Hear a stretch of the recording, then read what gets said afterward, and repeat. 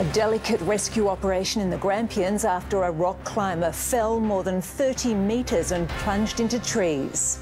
Daniel Andrews' bold plan to build a sky train, why hundreds of angry residents say it's an act of total betrayal. The wreckage has been found, but a crashed plane's fourth victim is still missing. Now, the search to find answers. Freedom for kidnapped Australian Jocelyn Elliott, but no word on the fate of her husband. Ready for court, a 100 year old man says enough's enough. He's set for battle over traffic fines that he says aren't his. And counting down to the day America stops as Australians join millions for the Super Bowl. Live from our Melbourne headquarters, this is 7 News with Jennifer Keyte. Good evening to breaking news now. And a teenager is being airlifted to a Melbourne hospital